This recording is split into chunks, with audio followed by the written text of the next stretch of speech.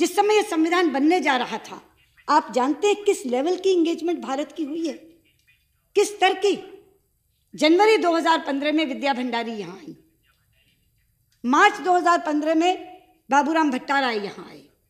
जुलाई 2015 में प्रचंड यहाँ आए। और जून में और अगस्त में शेर बहादुर देवबा यहाँ आए। और जून में मैं स्वयं वहाँ गई और मैं वहाँ गई तो केवल इंटरनेशनल डोनर्स कॉन्फ्रेंस में भाग लेके नहीं आ गई। हर एक नेता से मैं मिली और ओली जी से तो अलग मैंने अलग से बात की। ये इंगेजमेंट कम है क्या?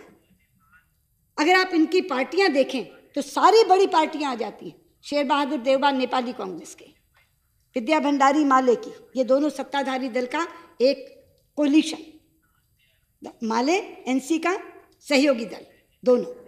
प्रचंड और बाबूराम भट्टाराय प्रमुख विपक्ष के। इन लोगों से हमारा एंगेजमेंट हुआ। एक दिन ऐसा नहीं जाता था जिस दिन कोई नेपाल से नहीं आता था। लेकिन मैंने केवल उन चार बड़े लोगों की बात की। और ये जनवरी से अगस्त तक की बात है।